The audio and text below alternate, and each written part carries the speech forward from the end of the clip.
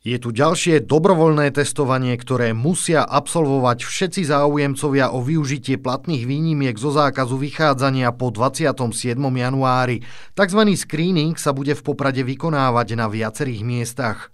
Testovať sa budú osoby od 15 do 65 rokov. V rámci testovania mesto Poprad zriadilo 12 odberných miest. Testovanie sa uskutoční v sobotu 23. a v nedeľu 24. januára v čase od 7. do 19. hodiny mimo obedňajšej prestávky. Otestovať sa môžete na ktoromkoľvek z odberných miest. K dispozícii bude Mestský úrad, aréna, pracovisko v strážach, ako aj školy v Spiskej sobote, Matejovciach, vo Veľkej, na juhu i na západe. Pred testovaním testovaním sa však treba zaregistrovať. Registrácia je nutná a záujemcovia ju môžu vykonať dvomi spôsobmi, elektronicky alebo telefonicky. Mesto tak chce výjsť v ústrety všetkým, ktorí majú o testovanie záujem.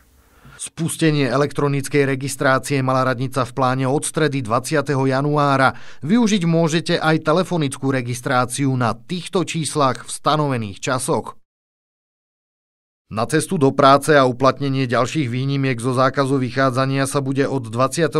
januára do 2. februára potrebné preukazovať negatívnym testom na ochorenie COVID-19. V prípade, že bude Poprad po dobrovoľnom testovaní zaradený medzi 37 najhorších okresov na Slovensku, masový screening bude pokračovať od 3. do 7. februára.